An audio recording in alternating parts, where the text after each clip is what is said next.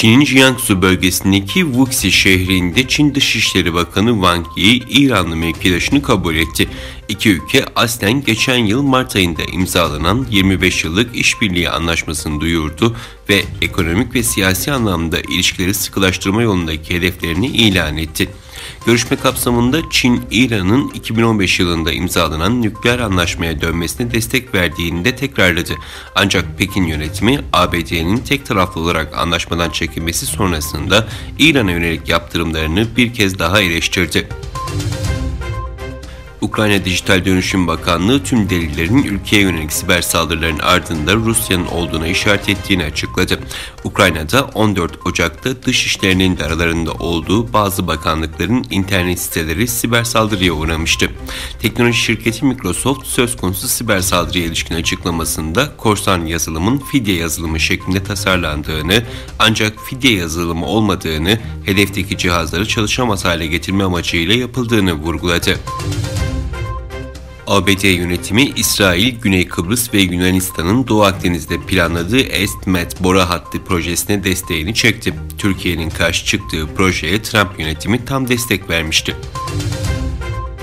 Çin'de gelecek ay kış olimpiyatlarına ev sahipliği yapmaya hazırlanan başkent Pekin'de omikron varyantını taşıyan yeni tip koronavirüs vakası görüldüğü bildirildi.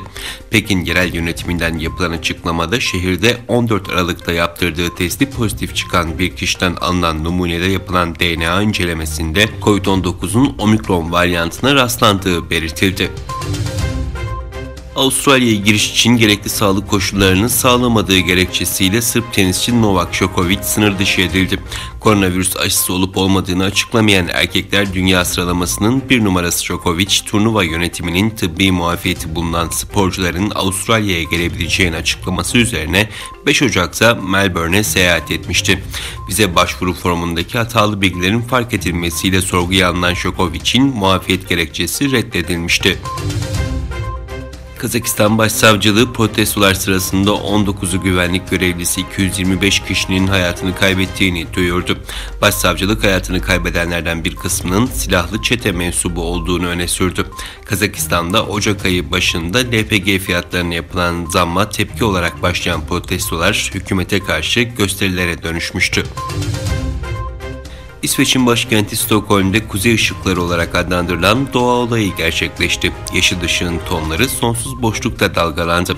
Kuzey ışıkları yeryüzünün manyetik alanı ile güneşten gelen yüklü parçacıkların etkileşimi sonucu ortaya çıkıyor. Kuzey ışıkları bu kez de İsveç'te gökyüzünü yeşile boyadı.